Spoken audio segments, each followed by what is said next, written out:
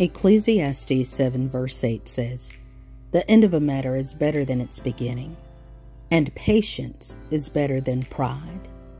And I think it's really interesting uh, that the latter part of that uh, verse says, Patience is better than pride, because I've never really thought about connecting the two. But patience is being willing to wait. And I think pride is thinking that it's owed to you or that, you know, you've done enough that you should have it by now. Or if they got it, why don't I have it?